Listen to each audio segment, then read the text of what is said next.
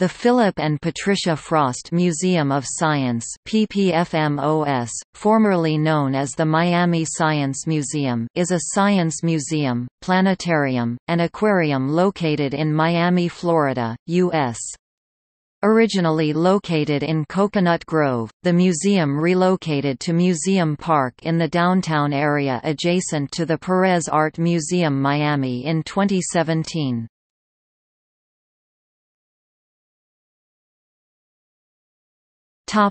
History The Junior League of Miami opened the Junior Museum of Miami in 1949. It was located inside a house on the corner of Biscayne Boulevard and 26th Street. The exhibits were made up of donated items, such as a hive of live honeybees which hung outside a window, and loaned materials, such as Seminole artifacts from the University of Florida. In 1952, the museum relocated to a larger space in the Miami Women's Club building on North Bayshore Drive. At that time it was renamed Museum of Science and Natural History. In 1953, the Guild of the Museum of Science was formed, adding volunteers to assist the staff, run the museum store, and conduct tours and outreach programs. In 1960, Miami-Dade County built a new 48,000 square feet (4,500 square meters) museum building on a 3-acre (12,000 square meters) site in an area of Miami called Coconut Grove. In 1966, the Space Transit Planetarium was added with a Spitz Model B space transit projector. The projector was the last of 12 of its type that was built, and the last one still in operation in 2015.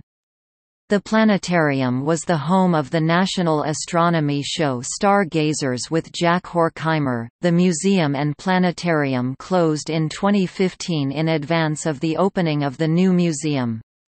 The dismantled Spitz projector is a permanent display piece in the new Frost Planetarium that opened in 2017 see below. Topic closing of Coconut Grove and relocation to downtown Miami In March 2011, Miami native Phillip Frost and his wife, Patricia, donated $35 million to the construction of a new science museum in downtown Miami. The museum was designed by the New York studio of global firm Grimshaw Architects. Miami's Rodriguez and Quiroga Architects Chartered played an executive role. The new 250,000 square feet (23,000 square meters) Phillip and Patricia Frost Museum of Science (PPFMOS) opened on May 8, 2017 in Museum Park in downtown Miami. The new museum includes, the Frost Planetarium, a 250-seat full-dome screen with a diameter of 67 feet 20 meters and a 16 million color, 8K projection system, a three-story, cone-shaped, 500,000 U.S. gallon 1,900,000 L aquarium with a 31-foot 9. 4 meters diameter oculus lens at the bottom for viewing the fish, rays and sharks, and the Knight learning center with four classrooms.